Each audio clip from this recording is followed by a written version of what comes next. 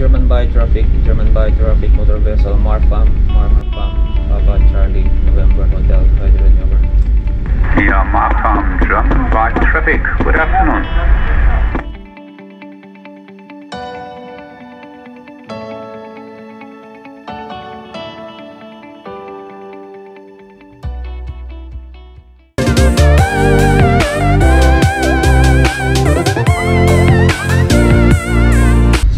Guys is arrival tayo sa Bremen, Germany. And then dito na area no sa chart natin is meron tayong reporting diyan. So need natin tumawag sa German by Traffic Channel 80 via VHF. Ngayon kailangan?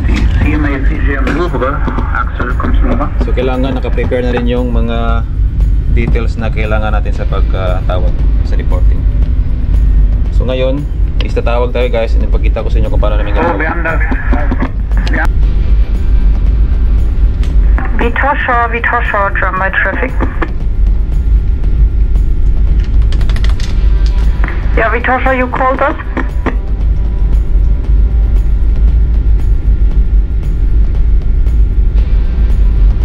So, antayin muna natin guys no. Yeah, Vitosha, you're on the way now, proceeding to the pilot. Okay, stand by 80 until the pilot is on board. Good watch. Yan, so bago ka tatawag guys, kailangan anta- antayin mo muna silang matapos sa pinag-usapan nila, sa conversation nila. So ngayon is okay na, wala nang nagasalta sa radio. So tatawag na tayo guys. German by traffic, German by traffic, motor vessel, Marfam, Marfam, Papa Charlie, November Hotel, Hydrogen over. Yeah, Markham, German by traffic. Good afternoon.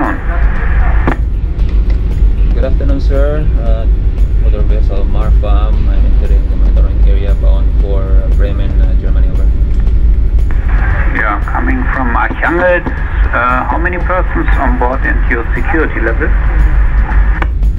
eight uh, persons on board and uh, security level number one over. Yeah, what is the draft today?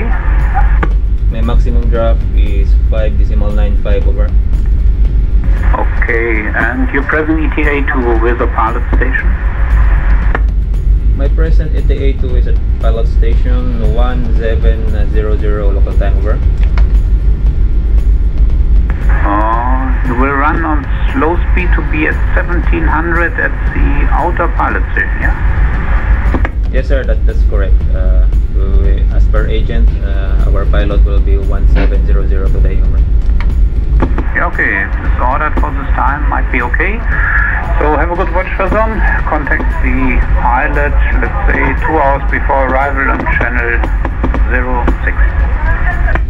Well understood sir, I will contact the pilot uh, 2 hours before arrival, channel 06. Thank you. Yan. So, yun guys. So yun yung reporting. ah, kasi meron tayong mga area na ano, meron tayong mga area na kailangan natin mag-report. Dito sa Germany, no? Pag tatawid ka ng mga reporting area katulad niyan, no, reporting area 'yan.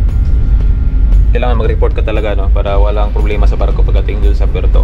So ngayon is naka-report na ako. Okay na and then mamaya tatawag na ako sa pilot no para sa arrival natin. So as per advice ng German by traffic guys, nung tina- tinawagan natin kanina is 2 hours before. ah, tatawag din sa pilot. So, nakita ko naman sa chart, no? So, meron tayong 24 miles. Nag-slow down kasi tayo ng speed, guys. Kasi gusto natin mag-arrive ng alas 5 ng hapon. So, dito yung pilot station, no? Dito sa Sampaya Pilot Station. Sa may uh, Wizard Pilot Boarding Ground. Nani-zoom lang natin.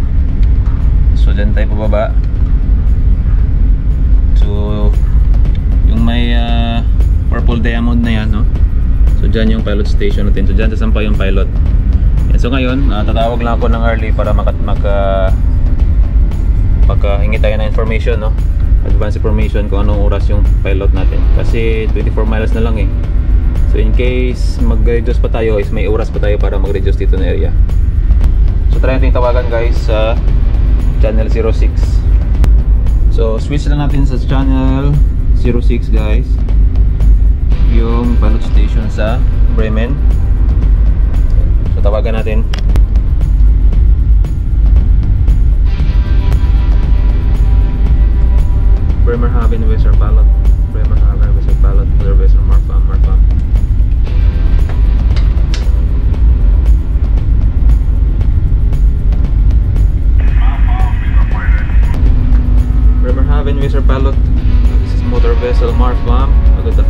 My ETA to Balot Station 1700 local time over. 1700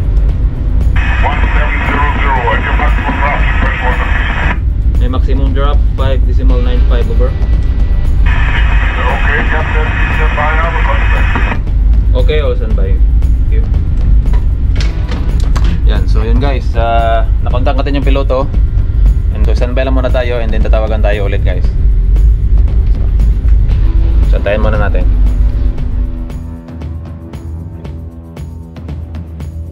Uh, Wizard Pilot, motor vessel Mark Farmer flying. Good sir. Captain, your maximum maneuvering speed. May maximum maneuvering speed 12 knots over, 12 knots. 12 knots. This is also your maximum speed, Captain.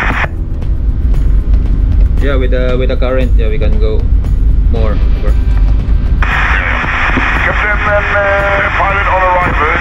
And uh, Captain, question, your freeboard today, how many meters you have?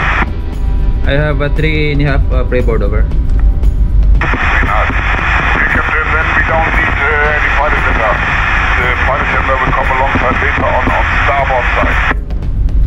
Okay, no need for uh, pilot ladder and the uh, pilot boat will come on starboard side over.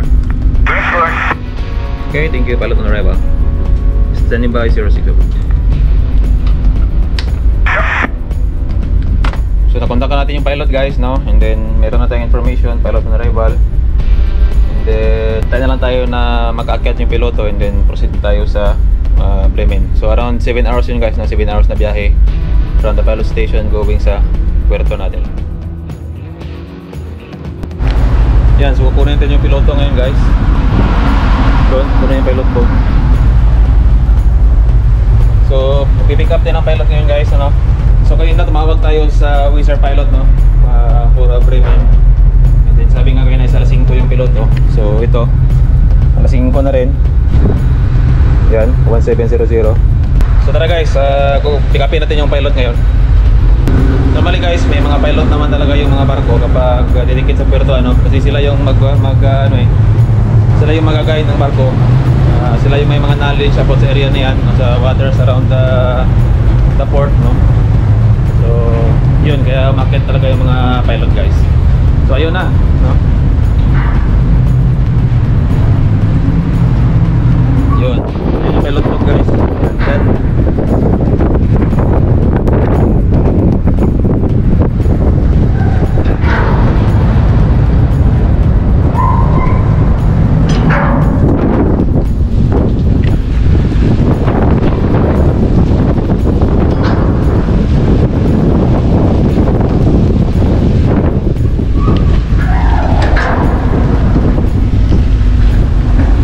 Moving speed uh, 10 knots. Yes, Captain. That's Cap. Yan, so yan ang pilot boat na guys, ang laki, no? Ang laki ng pilot boat.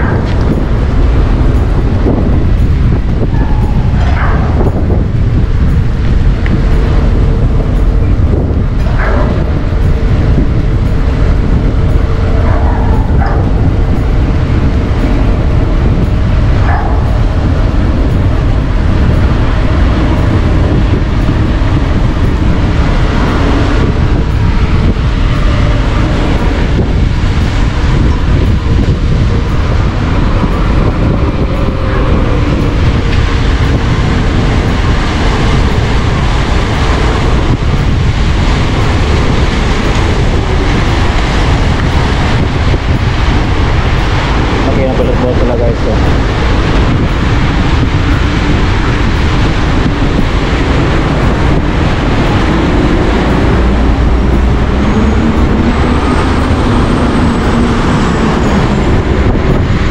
Yan, ganito yung... alongside.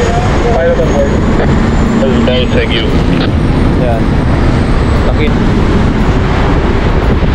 Yan, so andyan na yung piloto. Andyan din sa bridge.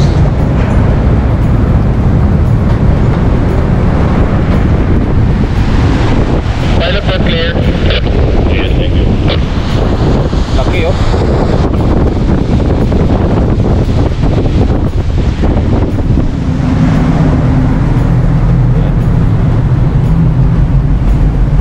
So kailangan talaga may magdala guys, no? May magdala sa bridge. Yan, antayin natin. Baka mamaya may iwan.